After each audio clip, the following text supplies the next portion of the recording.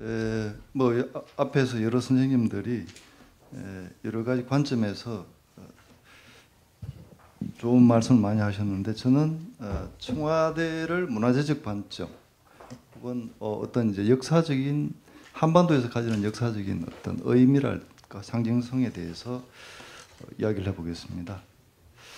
그 작년 5월 10일 날 이제 새로운 정부가 출변하면서 청와대가 전격적으로 일반에 에, 개방되었습니다. 그 전날까지 대한민국 대통령이 집무하고 있던 국정의 중심지였으니 과히 파격적입니다. 혁명에 의해서 정부가 바뀐 것도 아니고 민주주의의 꽃이라는 자유로운 선거에 의해 평화적으로 정권이 교체된 마당에 굉장히 어울리지 않는 모양새입니다. 마치 새 정부가 전, 전쟁에서 승리한 후 획득한 전리품을 자랑하는 것 같습니다. 청와대를 개방하는 게 무엇이 그래 급했을까요? 문체부 장관은 옳거니 이번 기회에 청와대에 멋있는 뭘, 뭘 채워야지. 실내에는 그림을 걸고 야외에는 조각을 전시하면 멋있겠지. 거기다 음악회와 연극 같은 공연도 곁들이면 모두 좋아할 거야. 베르사유 궁처럼 의리의리하게 말이야. 난 항상 그게 부러웠거든 이런 식입니다 청와대가 개방된 지 꼭 210일 만에 문화체육부 문체부 장관은 이렇게 발표했습니다 그러나 청와대 인근은 지금 미술관이 굉장히 많습니다. 경복궁, 경복궁 동쪽 궁장에 현대미술관 서울관이 있고 그 바로 뒤편에 송현동 앳 미국 대사관 관사가 있던 36,642 광활, 광활한 부지에는 이권희 미술관이 들어설 예정입니다. 이뿐만이 아니, 아닙니다. 덕수궁 석조전에는 현대미술관 덕수궁관이 그 바로 옆의 대법원 자리에는 서울시립 미술관이 자리 잡고 있습니다. 다음으로는 청와대 역사성을 상고해 보겠습니다. 경복궁은 조선의 도읍지 한양의 기원이었습니다. 정도전과 비- 비롯한 조선의 설계자들은 북악산을 타고 남쪽으로 내려온 산등선을 중심으로 경복궁을 계획했습니다. 이곳을 중심 이곳이 서울의 탄생이었습니다. 좌묘우사라고 하여 경복궁을 중심으로 왼쪽에 조상신을 모시는 종묘를 세우고 오른쪽에 곡식의 신을 모시는 사직을 두었습니다. 경복궁 앞으로 뻗은 육조 거리 또한 이곳에서 비롯되었습니다. 청와대는 경복궁의 후원으로 임금이 사용하던 공간이었으니 경복궁으로 사용해도 무리가 없습니다. 이는 마치 창덕궁 후- 후원인 비원이 창덕궁인 것과 매한 가지입니다. 또한 청와대는 일대, 일제강점기를 거쳐 대한민국에 이르기까지 한반도 최고 권력기관이 위치했던 곳이라 우리 근현대사의 현장이었습니다. 이뿐이 아니라 청와대는 일찍 고려 남경터였습니다.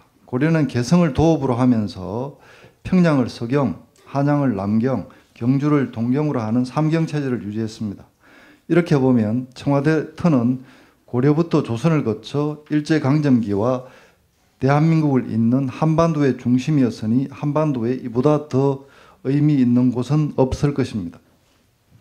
청와대는 고려 남경을 시작으로 조선은 물론 일제 강점기와 대한민국에 이르는 근현대기까지를 거치면서 계속 최고 권력자의 공간이어서 지금까지 한 번도 제대로 조사된 적이 없습니다. 모든 역사성 있는 장소와 건축물은 전문가의 조사와 연구를 거쳐 그 역사성을 밝히고 보존 계획을 수립하는 것이 문명국가의 보편적인 원칙입니다. 역사적인 장소를 활용하는 것은 보존에, 보존에 지장이 없는 범위 안에서 허용됩니다. 옛 흔적은 한 번 되면 회복할 수 없고 새로 만들 수 없기 때문입니다. 옛 흔적은 우리의 역사적 실체이며 우리가 누구인지 말해주는 정체성의 근원입니다. 다음으로 일제 강점기 이후 우리 궁궐 훼손의 역사를 살펴보겠습니다. 일제 강점기 조선 총독부는 구태를 일신한다며 조선의 법궁이었던 경복궁의 정각을 공매하고 빈터를 만들어 각종 전시회를 개최해 자신의 업적을 선전했습니다. 1915년 조선 물산 공진회를 시작으로 1929년 조선 박람회까지 연, 그 박람회를 연달아 열었습니다. 이때는 1851년 런던 박, 박람회를 시작으로 19세기 말부터 20세기 초까지 세계적으로 박람회가 유행한 시대였으니 일제는 그 조류에 편성하여 경복궁을 마음대로 활용했습니다. 조선 총독부는 또한 경복궁 세자의 거처였던 동궁자리에 1915년 조선 총독부 박물관을 명성왕후를 시해한 경복궁 건천궁 자리에 1939년 조선 총독부 미술관을 세웠습니다. 조선 총독부 미술관은 1939년부터 1944년까지 조선 미술 전람 회장으로 이용되었습니다. 이 외에도 창경궁의 식물원과 동물원, 이왕과 박물관을 세우고 창경원이라 한 사실은 너무나 잘 알려져 있습니다. 당시에도 박물관과 미술관, 식물, 식물원과 동물원은 최고급 문화 사업이었습니다. 그런데 왜 우리는 그들이 한 행위를 비난하겠습니까? 조선의 상징인 궁궐을 훼손함으로써 조선의 존엄성을 조롱하고 조선의 정체성을 지우려 했기 때문입니다. 역사가 없는 민족은 미래가 없다고 했습니다. 일제는 조선의 흔적을 지워 영구적으로 조선을 지배하고자 했습니다. 해방 이후에는 우리가 우리 문화재를 훼손했던 뼈아픈 기억이 있습니다.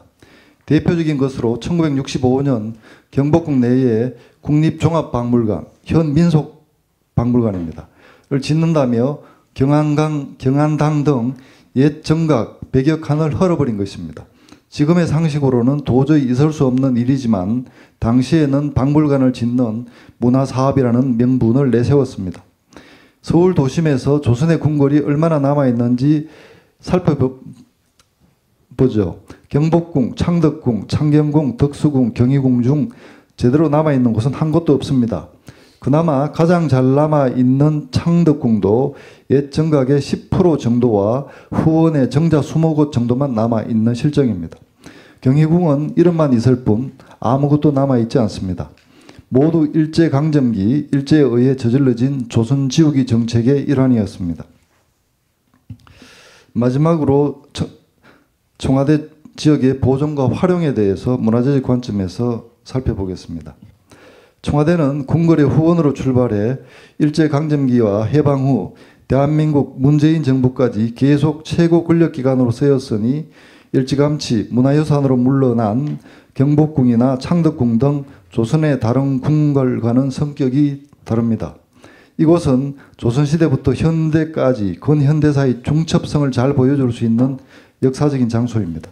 그러므로 청와대가 무엇으로 변하든 역사의 흔적을 잘 보존하면서 활용해 지금까지 궁궐을 보존하고 활용했던 방향과는 사뭇 달라야 할 것입니다. 고려와 조선에 더해 근대와 현대 역사와 문화까지 담는 담겨 있는 청와대라는 인식에서 보존과 활용을 논의해야 할 것입니다. 가장 시급한 것은 청와대를 역사적인 장소, 즉 사적으로 지정하는 것입니다. 문화재로 지정하는 것은 역사적인 의미를 인정해 국가에서 제도적으로 보존하기 위한 것이니 청와대 역사성은 경복궁과 더불어 그 어느 누구도 부인할 수 없을 것입니다. 사적으로 지정함으로써 그 역사적 가치를 정부가 인정하고 혹시 있을지 모를 성급한 개발의 압력으로부터 보호할 수 있을 것입니다. 현상에 대한 철저한 조사가 이루어져야 합니다. 청와대는 그동안 전문가의 조사는 물론 접근조차 엄격히 금지된 곳이라 알려진 곳이 본래 없습니다. 그러나 이 지역은 문재인 정부까지 현대사의 중요한 현장이었으니 누적되고 중첩된 그, 것을 조사할 것이 많을 것입니다. 자칫 소홀히 하면 켜켜이 쌓인 역사의 팔림들이 여기저기 떨어져 나가기 십상, 십상입니다. 그 흔적을 찾아내고 의미를 부여한 후 보존하는 조치가 필요할 것입니다.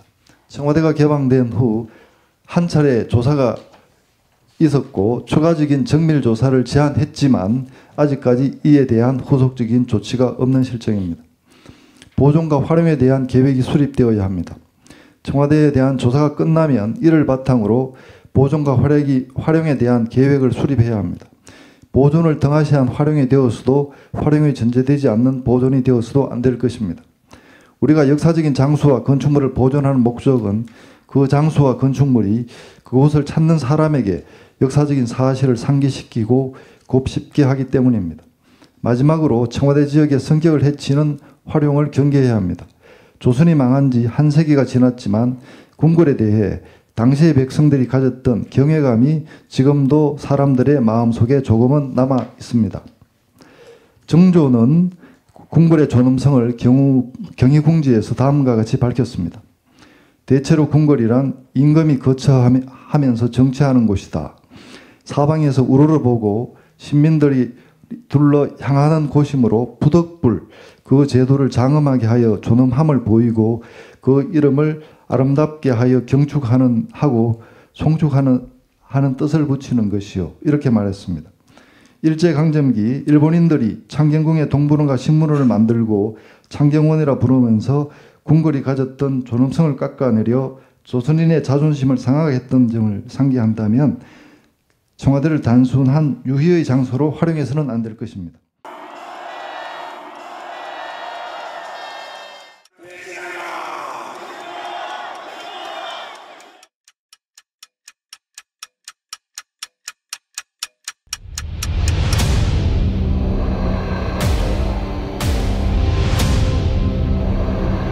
정부에서 할 거는 마약 쏙보다 두들이 잡아야 돼. 일본한테 유린당한 적도 우리가 힘이 없을 때 일본이 힘이 돼주는 도움을 받은 적이 있어. 근데 우리가 일본을 훌륭해야 된다 용산에는 용이 와야 돼. 요주를 들고 와야 돼. 명백한 국정농단이죠. 천공이 답변해야 될 문제입니다. 상당히 이제 충격적이었죠. 그게 어떻게 가능하겠냐 이렇게 반문을 했거든요. 한 말씀 해주세요. 나는 기자들하고 한 번도 안 김건희 여사하고 아직 연락하세요 지금요? 국정 운영에 천공이 개입한다고 인과관계를 보고 한번 찾아보도록 하겠습니다. 좋아 빠르게 가!